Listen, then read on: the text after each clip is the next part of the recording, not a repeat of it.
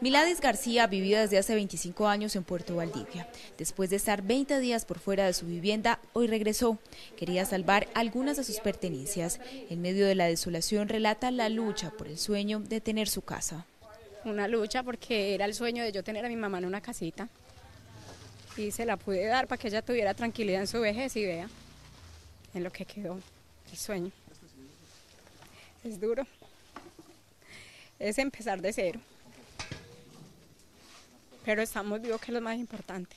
Hoy nuevamente el llamado llegó para los habitantes del corregimiento, en una tarea por verificar vivienda por vivienda e identificar el nuevo número de personas que se resisten a salir de sus casas.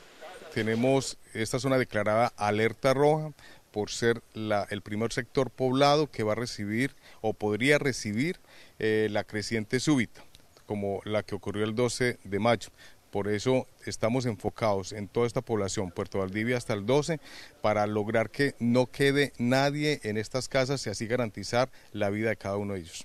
Algunos han retornado, no para quedarse, sino para salvar lo poco que queda. Que evacúen que primero la, la vida, lo material es, es lo de menos, aunque nos da tranquilidad, porque mi casa me daba tranquilidad, pero ¿qué hace uno con casa y muerto? Es mejor estar uno vivo y luchar. Miladis ya está decidida, dejará su puerto Valdivia por lo menos por unos días y empezará una nueva vida en Medellín, en medio de una evacuación en la que el tiempo es pieza clave para prevenir una tragedia.